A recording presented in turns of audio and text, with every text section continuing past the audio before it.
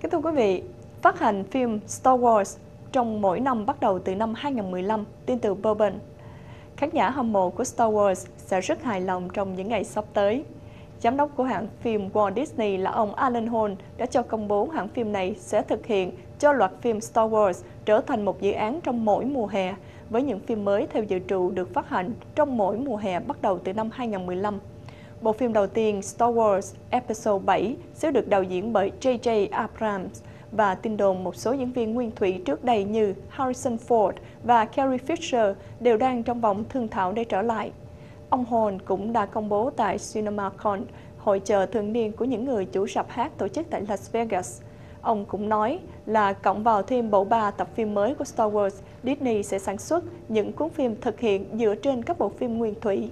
Nhà sáng tạo Star Wars là ông George Lucas đã bán hãng phim Lucasfilm của ông cho Walt Disney Company vào tháng 10 năm 2012.